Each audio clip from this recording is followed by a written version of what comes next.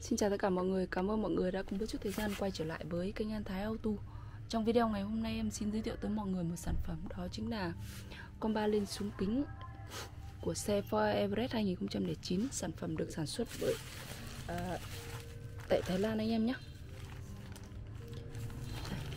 Thì à, uh, ra tại Thái Lan luôn này, đây là mã sản phẩm của nó này. Hôm nay em gửi cho khách là phía sau lái này. Anh em mà có nhu cầu cần tư vấn, hỗ trợ về sản phẩm thì hãy liên hệ với em theo số 0769086333 hỗ trợ kiểm tra lắp đặt thay thế tại gara ô tô BMT số 1 ngõ 319 Tam Trinh. Số liên hệ là 0856727222 em xin cảm ơn, hẹn gặp lại mọi người trong những video kế tiếp. Em xin chào.